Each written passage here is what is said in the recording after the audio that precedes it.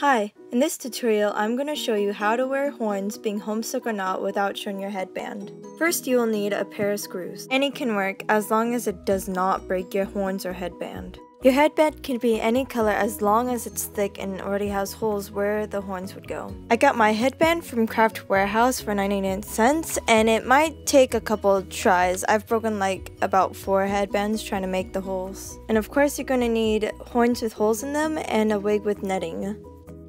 Now you will need to screw the screws through your headband. Now once you have that done, you're going to want to place your headband in the center of your wig like this. Now you're going to push the screws through part of the netting inside your wig where your horns will go. You want to make sure it's in the right spot and that you're able to push it with ease or else some of the hair might rip out. Now you're going to want to flip your wig back to normal. You want to make sure that your screws are pointing outside of the wig. Next you're just going to take your horns and screw them on.